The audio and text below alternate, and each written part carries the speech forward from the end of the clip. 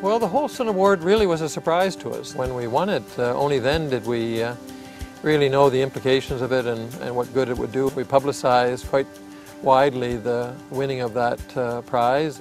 After that, uh, other uh, grants uh, seemed to come quite, quite a bit easier. We learned a lot about the, the, whole green building industry as a result of being recognized as, a North American winner. Lots of times you know what you're doing yourself, but the community and the agencies don't recognize you until someone else does. I think the uh, five standards of the Holcim Awards are, are unique. I haven't seen anything of the sort anywhere. They care about their eco footprint. The Holcim Awards gave us a chance to lead an interdisciplinary team to design an entire sustainable community here in Montreal for about three, 4,000 people. And now has kind of really flowered into uh, trying to really live within our ecological and environmental footprint. And it's all based on health and happiness and lifestyle. All the pressures are not to innovate. All the pressures from top to bottom are to do things as they have been done.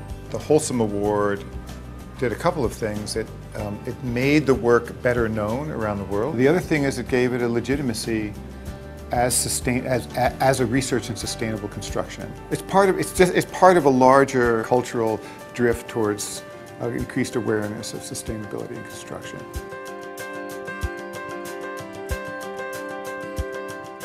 I'd say the award is unique because it's international. You know, they really inspired people to up their game in terms of both applications and, uh, and actual projects. After having won the Holcim Award, uh, we started a conversation with officials at Holcim Canada about um, getting more involved in the project.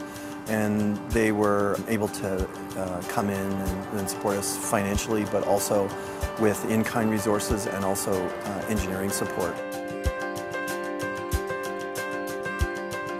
An award system that uh, truly looks at performance, truly looks at achievements in the field uh, is absolutely uh, critical.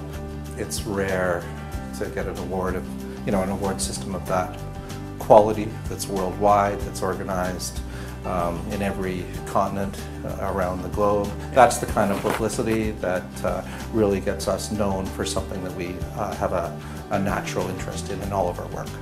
This is part of the environmental movement, but it's also uh, a good business sense that people are, are pursuing it, and, and uh, companies like Holcim are, are recognizing not only the need for it, but the, uh, the opportunity for construction industries. We're trying to green and densify our cities, live within our environmental footprints, and not make it uh, a sacrifice, but actually a social contract change, really a, a lifestyle choice instead of a compromise. And I think that Holcim's process is encouraging that.